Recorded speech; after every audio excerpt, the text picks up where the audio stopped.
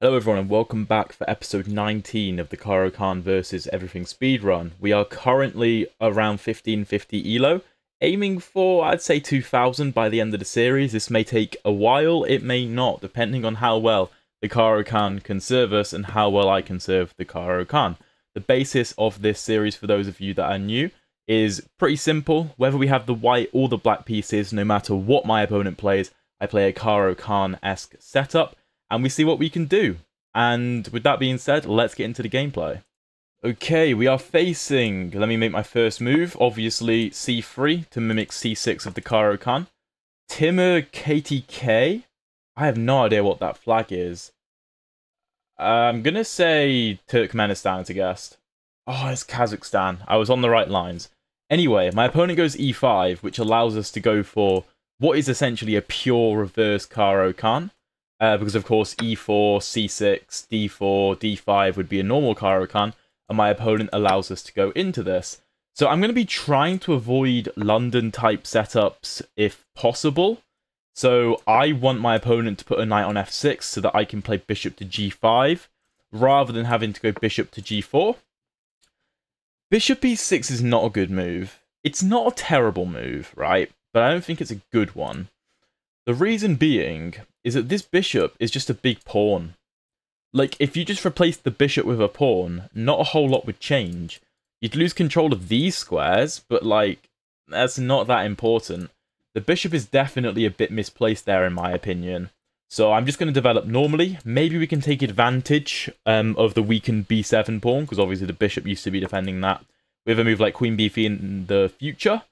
But there is no rush at all, and with knight to f6, you guys know what I'm going to play now.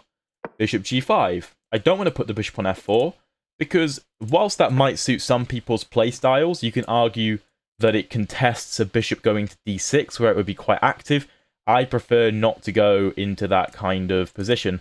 Personally, I don't like having my bishop on f4 or f5 in these Caro type structures from either side. And my opponent goes knight c6. Again, I think this is a bit of an inaccuracy. So both bishop to e6 and knight c6, they're, in my opinion, suboptimal uh, squares for his pieces. The reason, so I explained the bishop, right?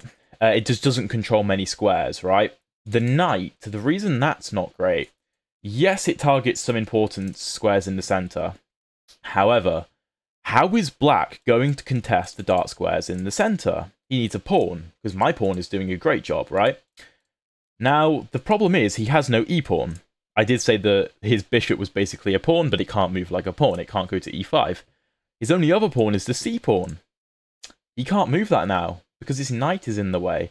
So, by putting the knight on c6, the knight doesn't really do a whole lot in the center, because black has no pawns to put forward in front of the knight to support, or for the knight to support a pawn break. Black can't do that now. And so the knight is just a bit obsolete um, in what it's doing currently. He may try to reroute it to the light squares or something like that.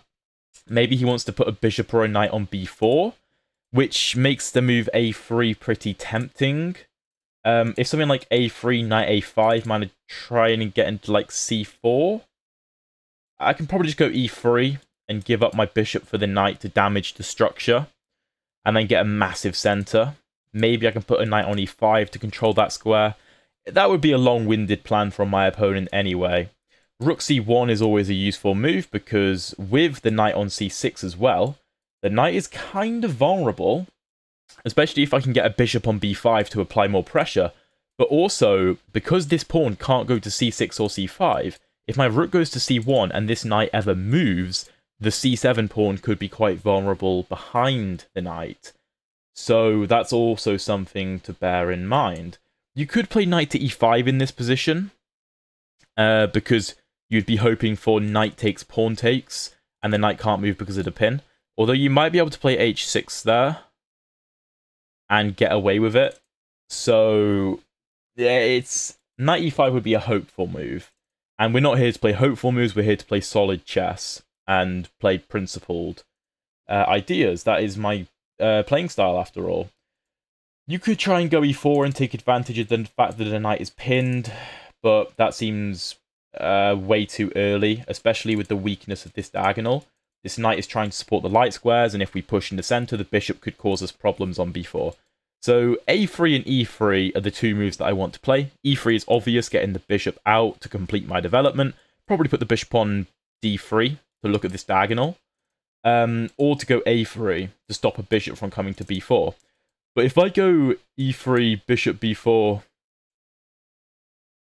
and just go a3, surely he would have to take me.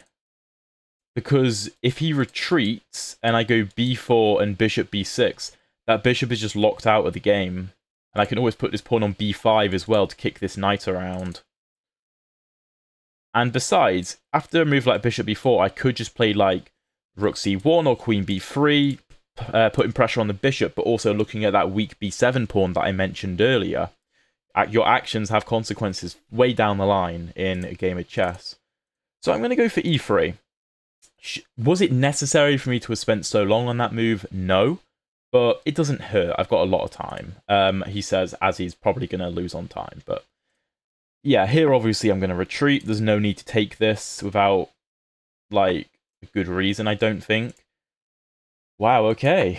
and My opponent goes all the way. Now my bishop is quite good on this diagonal and can also access the e5 square, which is a lot stronger because g5 has been played, because it means that this diagonal is weak. And it's not obvious where my opponent castles, because his kingside pawns are a mess now. And if he goes queenside, I've got the open c file, and I can throw these um, a and b pawns at him with tempo on his minor pieces. So this is looking like a very nice position so far. Queen b3 is tempting. Of course, you don't have to worry about this alignment with the bishop, really, because unless um, black can take on e4, which we don't really have to let him do, then we're fine. Uh, I don't want to put a knight on e5 because that allows black to trade off his bad knight, and then he can play a move like c6 to consolidate his queenside pawn structure, so I don't want to give him that out. Bishop d3 is certainly playable, um, helped by the fact that I don't have to worry about a queen putting more pressure on the knight because the c pawn is on c7. Again, that's not really where the pawn belongs in these types of positions. And that's another reason why I'm not going to do this, because then he can play c6, bring his queen out, and then he actually has pressure. We don't want to allow that. Rook c1 is also a viable move, but if we just go bishop d3 and prepare to castle, then we will break the pin on the knight anyway. And if he takes us unprompted, like without us playing a move like a3 or queen b3, then we win a lot of time. So I'm going to play bishop d3. This is a very active diagonal. This is a very nice diagonal. The only way for... Well, black can't challenge this one, right? I told you this bishop should have been on f5, not e6. Or, or the bishop could have been on g4, but then it could have gone like the long way round. But even then, because of the way that black has pushed his pawns up, that wouldn't really be viable. The only way it would be is with the pawns back on their starting squares, if this bishop was on g6 and I took to take with the h-pawn to keep the structure intact. That is generally how you do it. Sometimes you can take with the f-pawn, but I'm going down a long tangent anyway. I hope I'm not losing any of you guys along the way. So, I'm a big fan of this position. I'm just going to castle um, a move like g4 I don't care about. I can drop the knight back to d2. I can put the knight on e5. It doesn't really matter. Opponent put more pressure on the knight. He also threatens to take my bishop. And I did say that was an active bishop. But if he takes my bishop, I take back with the h-pawn. This is a reversal of what I was just talking about from the other side. And then my rook gets open on this very weak h6 pawn, which would be absolutely fantastic. And then I can probably just walk my king over to f1 or g1 to keep the rook active. So obviously my opponent is threatening to win the knight. So queen c2 or queen b3 look good.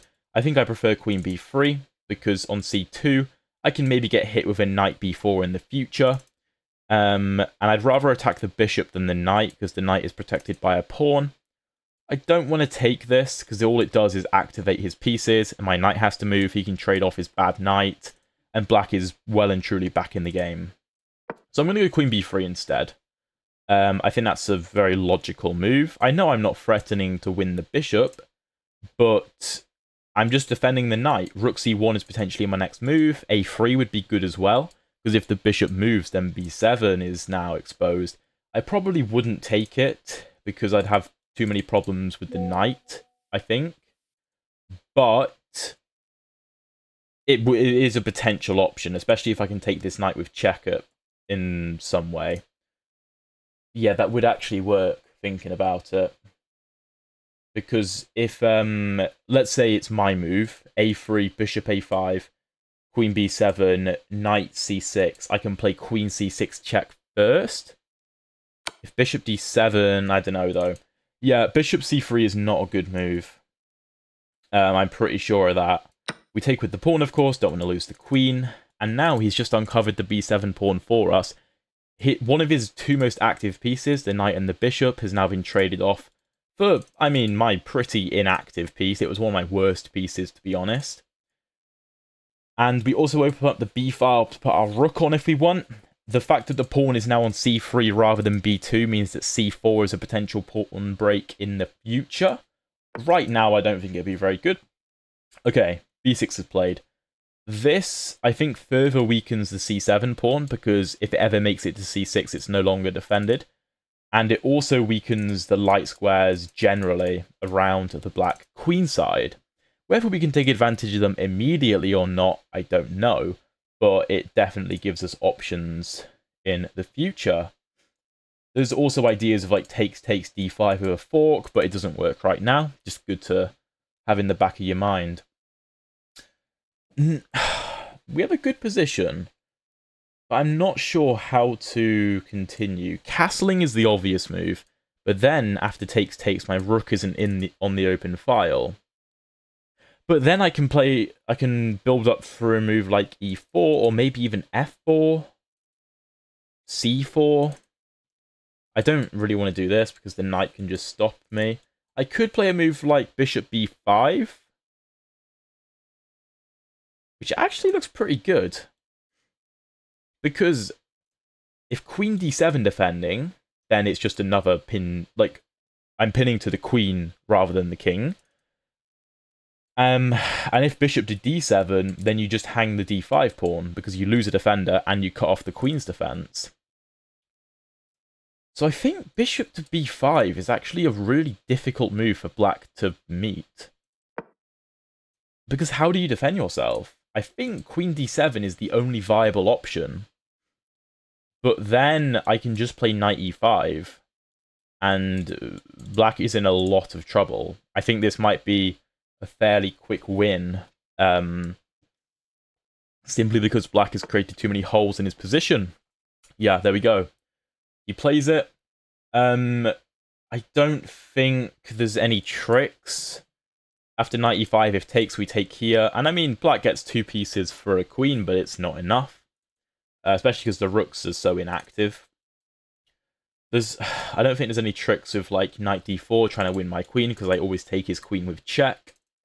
So yeah, I think this is a pretty easy move to play, and it just highlights the um the fact that you cannot create so many weaknesses in your position. And it all started because he put his bishop on e6. It was a not an optimal square for the bishop to be on it weakened the queen side because the queen side was weakened. Well, even before that, um, the knight came to c6, which meant that the c pawn was stuck in place.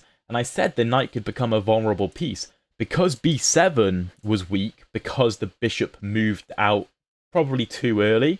You normally develop knights before bishops. This is one of the reasons why. It meant that my opponent had a very um, fragile plan to protect his b7 pawn, to protect his light squares, right? Um, and then we just take over the light squares because he puts all his pawns on dark squares, which meant that this knight on c6 was even weaker. And now we win a queen because of it. Of course, we take the queen now. He takes back with the knight, so he gets two pieces for a knight. Sorry, two pieces for a queen. But this is still completely winning. I think f3 is a nice move here because this is my opponent's best piece. Of course, f3 you would normally say is weakening, but he has no queen to attack me. He also has no dark squared bishop to attack me. So if he takes takes, it just activates my rook. If he retreats, then his knight just isn't that good. we could have taken on c7, uh, absolutely, but I don't know. I'm not that bothered about a pawn right now. I'd rather get my king incredibly safe on f2, connect my rooks, open the h file, prepare for pawn breaks like e4, maybe f4, maybe c4, maybe a4, a5 now that the knight isn't on the queen side. And I think a4, a5 looks very tempting. If a4, my opponent plays a5. Hmm, that's not terrible. And we don't get an immediate attack, but it does lock down the queen side a bit.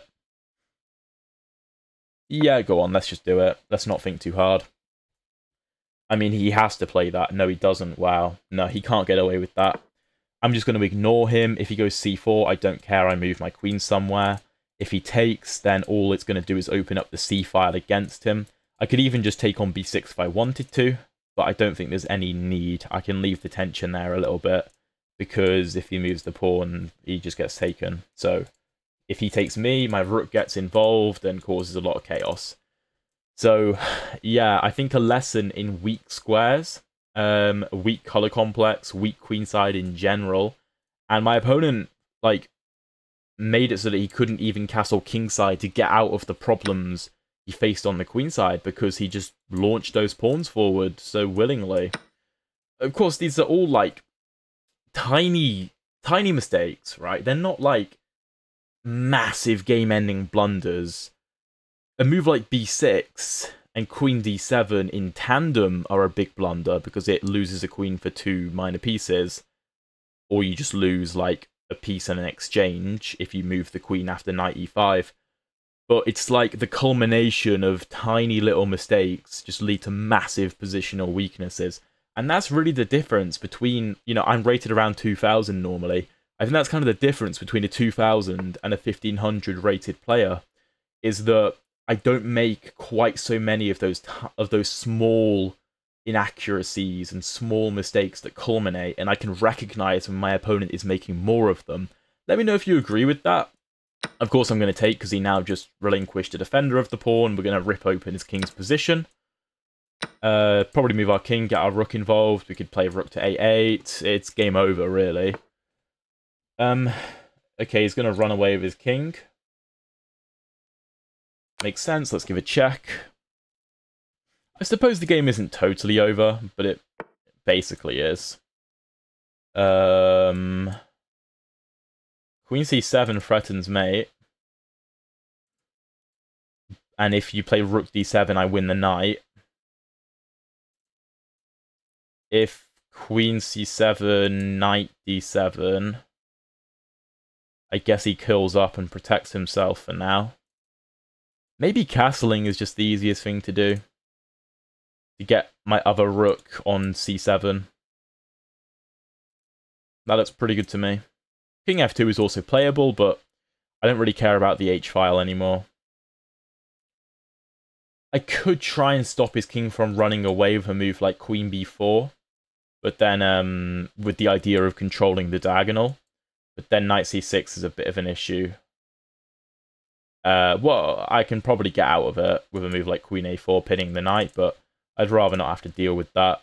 I think castling is a lot easier. We're up, you know, two pieces and like a pawn. Okay, yeah, knight d7 anyway. Uh, it's not obvious where I want to put my queen. My opponent is curling up quite well and just protecting himself. f4 might be an idea soon. I might put the uh, queen on b4 now, though, because previously I didn't want to allow knight c6, but now he can't play it, and I continue. And now I'm trying to stop his king from escaping. Rook b8 is the move that I expect my opponent to play. I can't try some fancy tactics like this because if rook b8, rook d7, my opponent just takes my queen and um, I lose. Whoa, F5. Maybe he's trying to use this square? Wow, that is bold. Okay. E4 is screaming to me to be played now. Because I can forcibly open lines. I think I have to play it. And weakening the dark squares isn't a big deal because my opponent has no dark squared bishop. Uh, he has a light squared bishop, and my king is not on a light square. He can always go to h2 as well if he needs to. So yeah, I think ripping open the center now is the best way to go. F4 might be a good idea. I think I probably take on d5 to open up the e file in that scenario. And my rook and queen could potentially link up on e7. Okay. Let's take.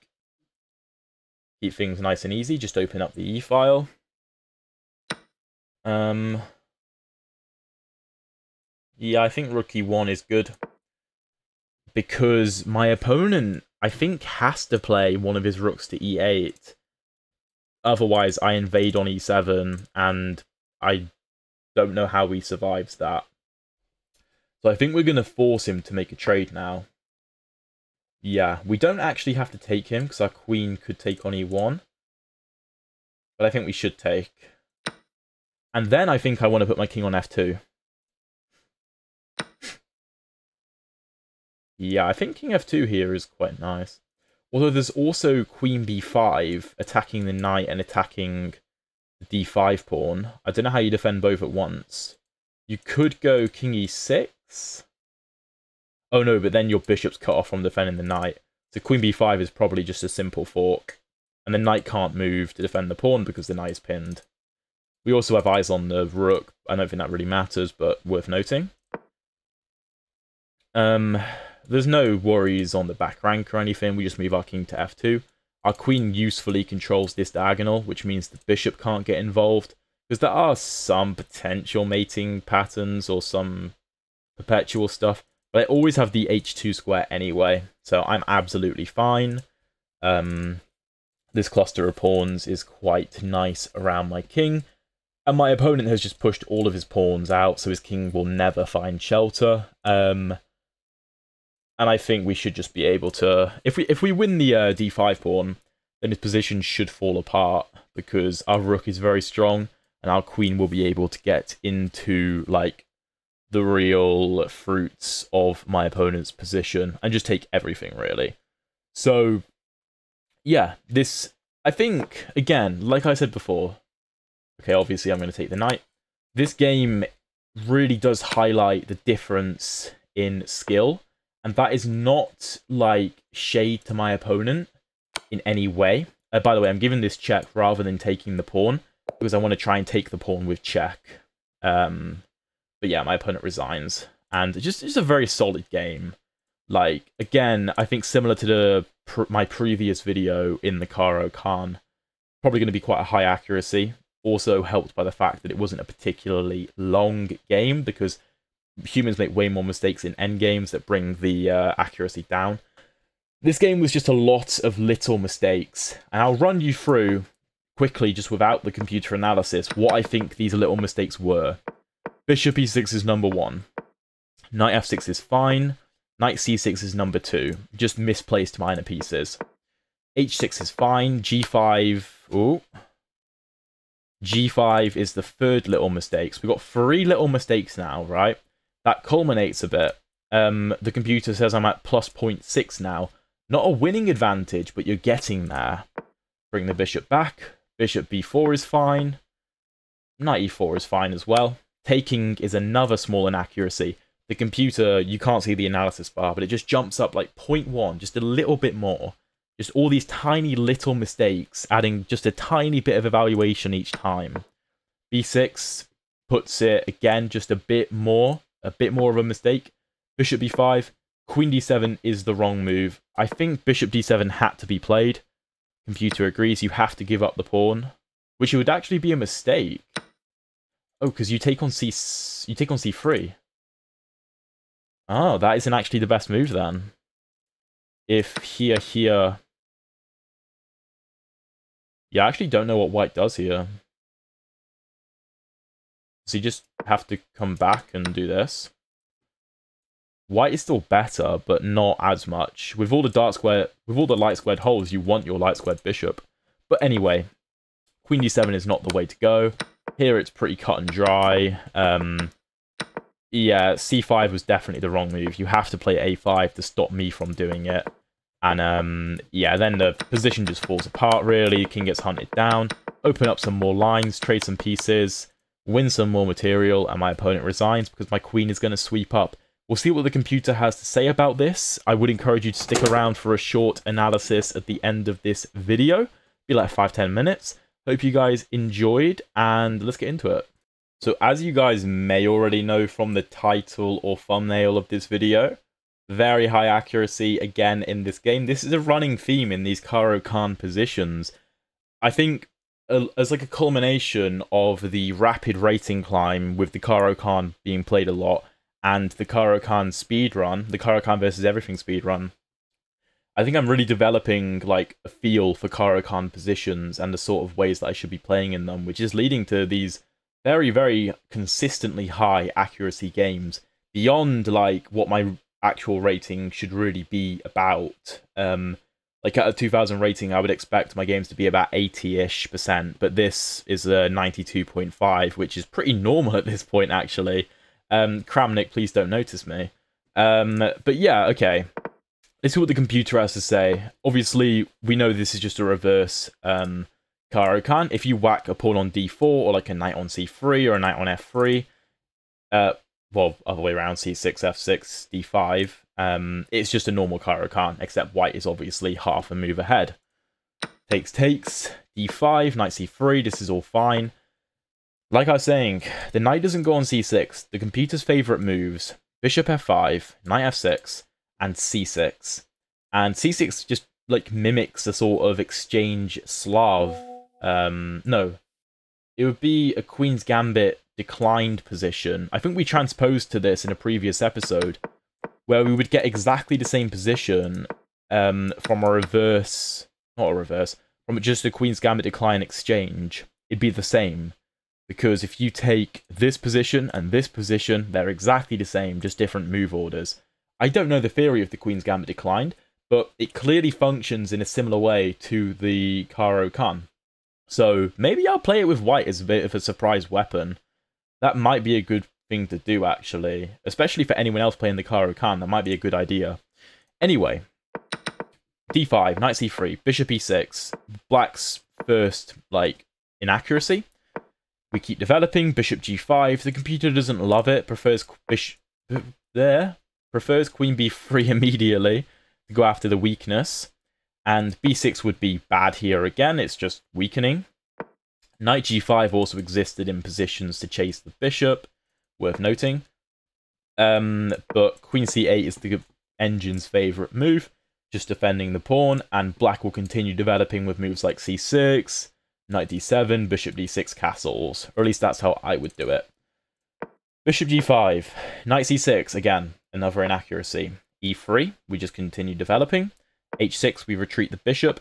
Computer doesn't mind taking, but I didn't see the need to. Uh, you can take if you want, though. g5, bishop g3, bishop b4, bishop d3. Again, we didn't have to react immediately, and I'm happy that I didn't. Knight e4 puts pressure on the knight. The computer actually just wants to give the pawn up. And if something like this, rook b1, and black has a whole lot of problems coming his way. So I definitely could have gone for this if I'd have considered it. I went queen b3. Still a fine move. Taking is not the way to go. Like, black doesn't have to react here because the knight is defending the bishop. But the problem is, the moves the computer suggests, right? At h5, which is just a weird move to play. It makes sense once you see it. Because the point is you threaten to go after the bishop. If the bishop ends up going to e5, it can be taken by the knight. And if a move like h3 is played to give the bishop an escape square, that's bad because you ruin your structure. Because what white wants is this, to open the rook up, not to have to take with the f-pawn and break up his structure, right? But, okay, like, you know, the best moves are h5, which is just a bit weird, a6, which, I mean, it makes sense, but it's a bit weird, and castles, which looks insane. So, you know, it's it's a tough position for black to try and maneuver now. He goes with bishop takes c3, which is not the right way to go. bc3, we attack the b7 pawn. b6 is not the way to go. Rook b8 is a better way to defend. Knight a5 is playable, but in my opinion, risky. You don't um, suffer a fork here because of the move c6. The queen defends the knight, the pawn attacks the queen. The knight defends b7, and the pawn blocks the queen's attack on the king. This is a very common pattern. You should learn it. B6 is played. Just opens up a lot of light squared weaknesses. We go bishop b5, which is by far the best move in the position, and the only winning move. Because this is just a massive issue. And yeah, bishop d7 is the best move. Taking is not good because of knight c3. We have to move the queen, and black is okay.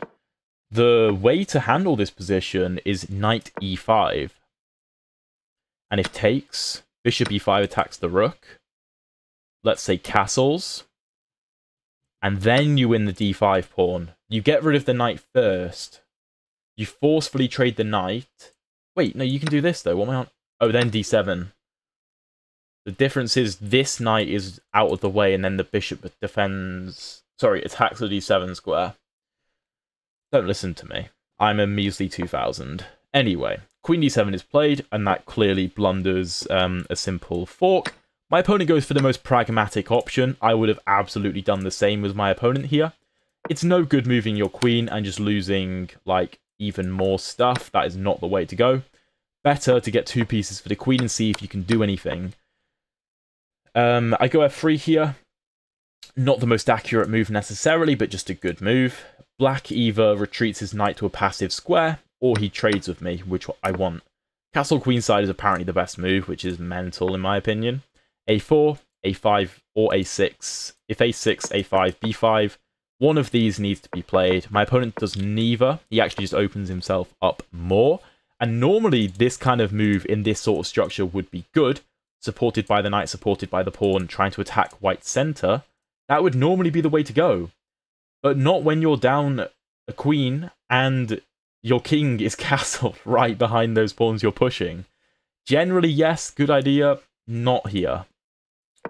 I go a5, no need to take and give my opponent the sort of thing that he wants. This is still fine for white, but don't allow anything. cd4, cd4, knight b8, I don't really understand. We win another pawn. Check. King e8. Castle, knight d7, these are all just good moves. Queen d6 was better than queen b4, accomplished the same goal, but on d6 we're just more inside my opponent's territory. I didn't want to allow any kind of discovery on my queen, although I guess geometrically I control the majority of the squares this knight can go to.